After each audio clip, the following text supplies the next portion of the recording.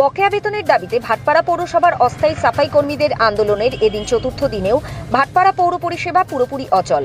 বিগত প্রায় তিন মাসের বকেয়া বেতনের দাবিতে গত পঁচিশে জানুয়ারি থেকে তাদের আন্দোলন শুরু হওয়ার পর ভাটপাড়া পৌরসভার মুখ্য পৌর প্রশাসক অরুণ বন্দ্যোপাধ্যায় সাতাশে জানুয়ারি বকেয়া কিছু টাকা দেওয়ার আশ্বাস দিলেও শুধুমাত্র ট্রাক্টর চালকদের কিছু বকেয়া বেতন দেওয়া হলেও সাফাই কর্মীদের কিছুই দেওয়া হয়নি।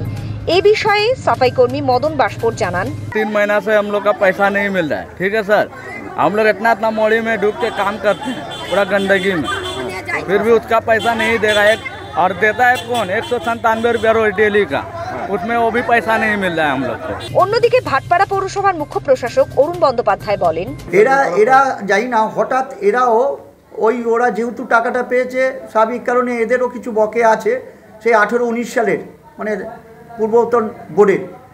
এরাও হঠাৎ উইদাউট নোটিশে এরা যদি আলোচনায় আসতো, আমি আলোচনা করে নিশ্চয়ই এদের বিষয়টা আমরা সহানুভূতির সঙ্গে বিবেচনা করতাম।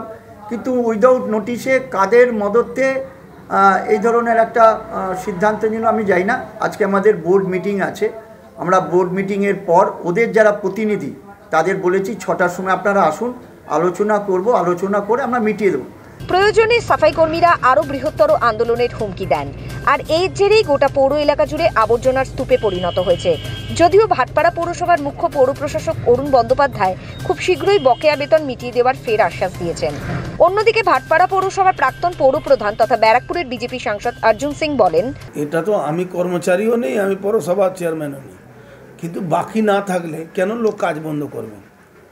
বাকি আছে, তাই তো কাজ বন্ধ করেছে। আমাদের সময়ে আমাদের সব ফন্ড বন্ধ বন্ধ করে দিয়েছিল আর স্ট্রাইক করিয়ে দিয়েছিল এরাই করিয়েছিল। আর পুলিশকে দিয়ে স্ট্রাইক করিয়েছিল।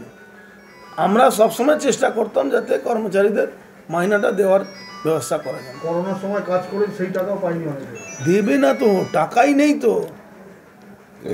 যে টাকা ডেভেলপমেন্টের টাকা আসছে সেখান থেকে ডেভেলপমেন্টও হচ্ছে না আর এদের কাজও হচ্ছে না।